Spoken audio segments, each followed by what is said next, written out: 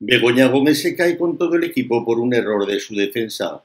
Las extrañas muestras de falta de diligencia que está dando el abogado de Begoña Gómez han provocado una situación extraordinariamente comprometida para la mujer del presidente del gobierno por haber presentado fuera de plazo los recursos contra las testificales de Leticia Laufer, el directora de Guacalúa y nexo de Begoña Gómez con Air Europa y con Barrabés, después de que se hubiera notificado a las partes en fecha de 19 del pasado mes de julio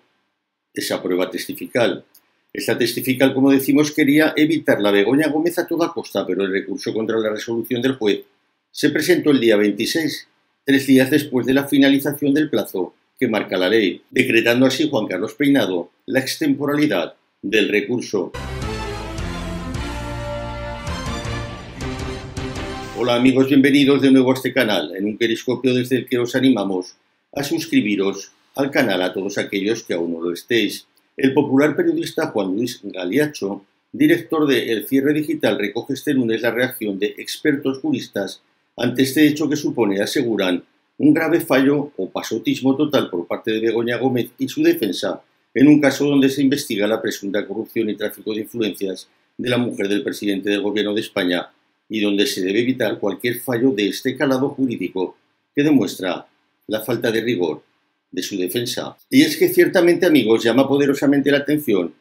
el error de Begoña Gómez y de su defensa al presentar el recurso fuera de plazo. Recordamos cómo el juez no dejó entrar al abogado de la mujer de Sánchez, Antonio Camacho, a la trascendental, también trascendental declaración del rector de la Complutense por llegar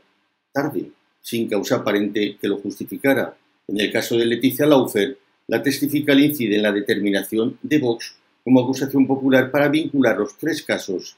de corrupción que rodean a Sánchez. Laufer desempeña un papel crucial para entender los supuestos vínculos de Begoña Gómez con la denominada trama Coldo. Su figura, según la Gaceta, es vista como el nexo entre Begoña Gómez, Air Europa y Juan Carlos Barrabés. Durante su tiempo en Guacalúa, filial de Globalia, Laufer gestionó el patrocinio de 40.000 euros para el Africa Center dirigido por Begoña Gómez, un acuerdo que se firmó en enero de 2020 meses después de un encuentro en San Petersburgo entre la esposa del presidente, el CEO de Globalia, Javier Hidalgo, y Víctor de Aldama, el mayor comisionista de la trama Coldo. En definitiva, amigos, una aparente desidia del abogado presentando los recursos fuera de plazo ante una testifical que puede comprometer notablemente los intereses de su clienta.